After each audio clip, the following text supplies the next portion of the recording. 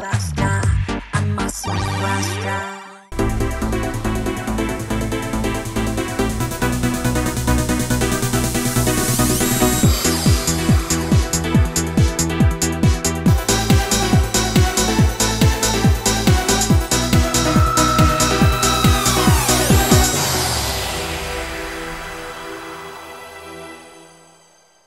आज ये मराठी मतलब एकदम लावणी डांस मराठी होता है बस जी आज इंगा तपूरी पिंगा हो रहा है।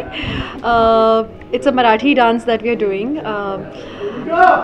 यह मोहब्बतें ही है बिल्कुल। आप कोई और मराठी शो नहीं देख रहे हैं। लेकिन uh, हम किसी मराठी हाउस होल्ड में आ गए मैं और शगुन भागते भागते और यहाँ uh, मराठी फेस्टिवल चल रहा होता है। और फेस्टिवल के दौरान हमें वो लोग समझ लेते हैं कि हम डांसर्स हैं। हम लोग भी मौके का फ़ायदा उठाते हैं क्योंकि हम लोग लुका छिपी खेल रहे हैं हमारे शो के विलन के साथ में।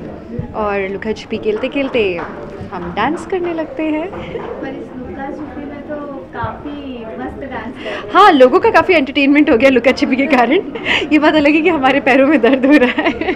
It's a very nice sequence and actually uh, मैंने जो मुझे डांस uh, से स्पेशली ऐसे थोड़ा क्लासिकल या फोक भी हूँ अगर तो थोड़ा सा डर लगता है काफ़ी एक्चुअली क्योंकि uh, मैं उतनी प्रो नहीं हूँ डांसिंग के साथ। बट जो जो स्टेप्स मैं देख रही थी मुझे लग रहा हाँ कैसे करूँगी? इवेंचुअली होते गए होते गए होते गए। So we are in a good zone मैं एक्चुअली एंजॉय करूँगी इस, इस पूरे के पूरे सीक्वेंस को देखते हुए। Because I am very sure अभी जितनी मेहनत लग रही है यहाँ उतना ही अमेजिंग ये टर्न आउट होने वाला है। हाँ। आज मराठी मुलगी बन गई। ये प्रॉपर मराठी आउटफिट है इट्स अ पैठनी साड़ी।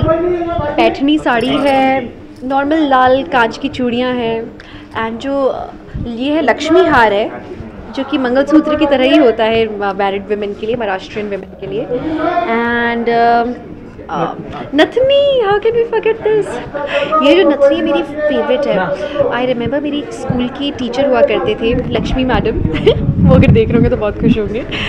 वो हमेशा ही पहन के आती थी she was a Maharashtrian and मैं हमेशा देख के ऐसे होती थी हाँ मुझे कभी पहनने मिलेगा क्या? सो so, मुझे मिल गया पहनने। And I really love it thank you